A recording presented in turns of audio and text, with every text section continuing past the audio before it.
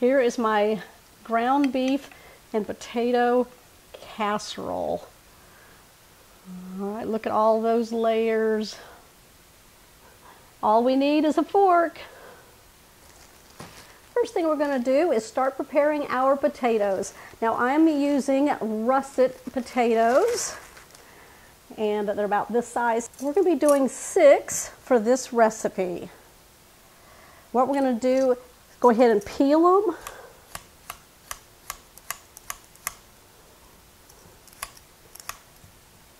Once we've peeled our potatoes, I'm just going to put them into a bowl of water. Rinse off any starch and any of the excess dirt that's on the skin of the potatoes.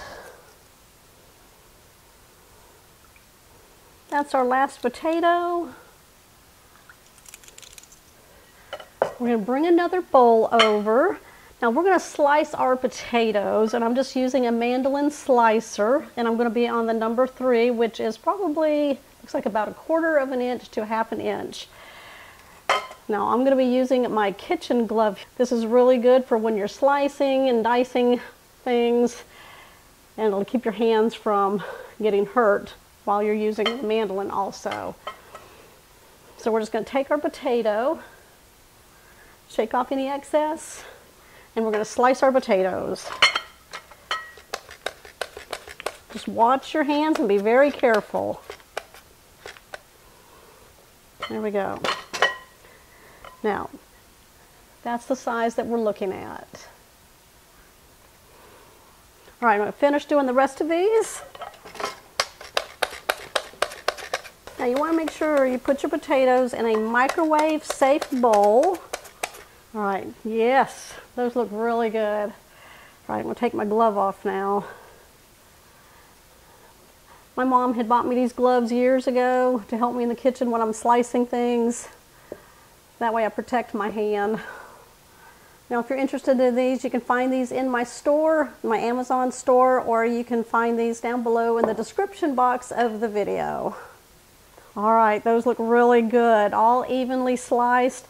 So what we're going to do is take some paper towels. Now I wet these and just wringed them out. And I'm just going to place them across the potatoes. Now since these are in a microwave safe bowl, we will place this in the microwave for one and a half minutes and then we'll test them. Now we're just looking to kind of par cook these. All right, let's check these. It's a kind of a starting point. And if you can't get your fork through the potato, you need to put them back in. We'll put them back in for another minute and a half. All depends on the size of your potatoes. Yes, you can see how a fork went right through the potato. All right, we're going to set these off to the side. Go ahead and start breaking up your ground beef in a large skillet over medium-high heat. And we're going to start browning it. We're going to move over to our cutting board and we're going to start cutting up our onion. We're going to take a yellow onion, cut off the sides. We're going to take off that outer layer.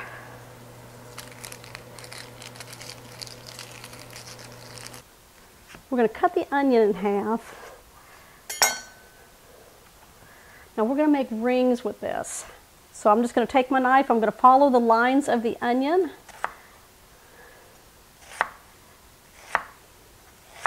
And cut rings. These are going to be half rings. And we'll just break them all up. And then we're going to add this to the ground beef. There we go.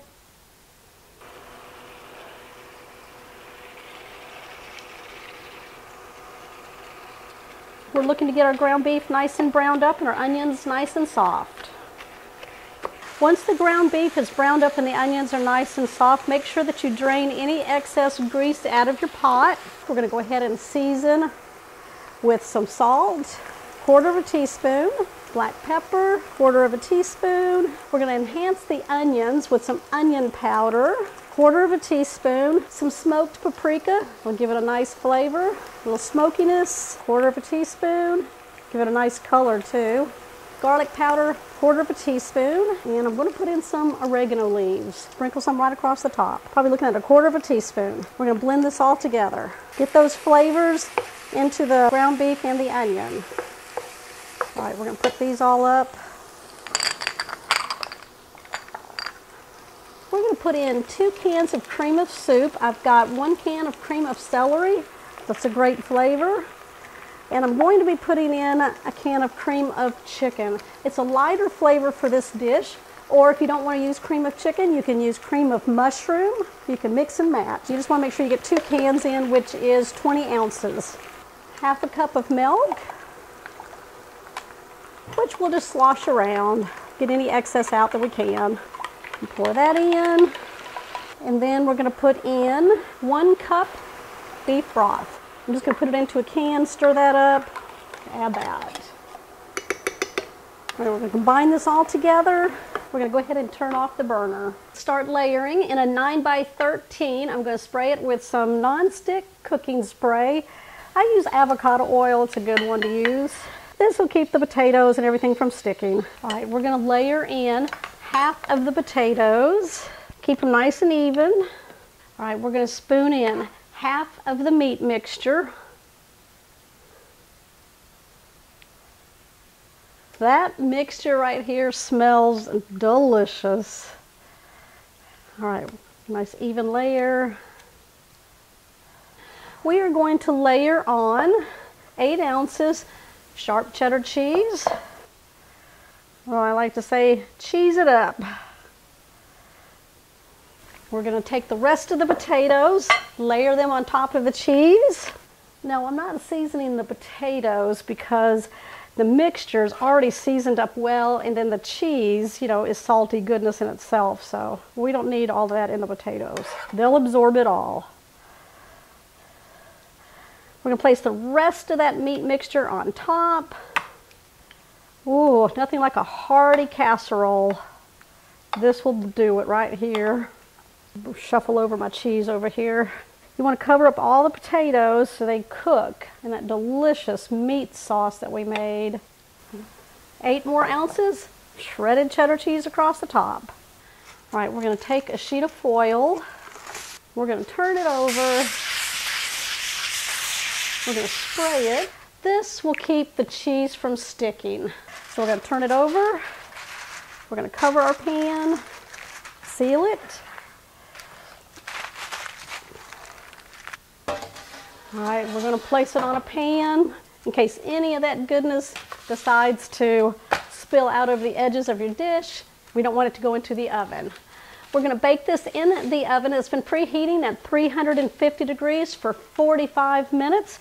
We're gonna remove the foil and then we're gonna put it back in the oven for another 30 minutes until those potatoes are nice and tender. Just put a fork in, kind of break it up and see if it's tender enough. If not, you can add a few more minutes to it until you get to that desired tenderness of your potatoes. We want that cheese to be nice and golden brown on top. I've pulled it out of the oven.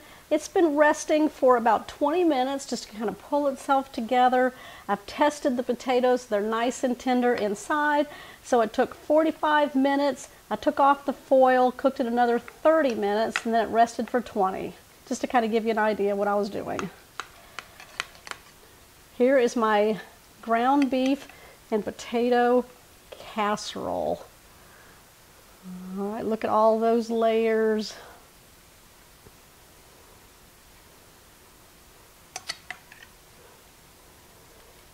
All we need is a fork. There it is. Here's my bite. Mmm. Oh, that's very delicious. The potatoes are nice and tender, creamy like. Got that delicious meat mixture in here, that cheese. Oh my goodness, I hope y'all give this a try. It is very delicious, very yummy. Y'all give me a thumbs up on this one. If you're new to the channel, make sure you hit that subscribe button down below and that bell notification. That way, you'll always know when dishes like this one here are made. I'll see y'all on the next episode.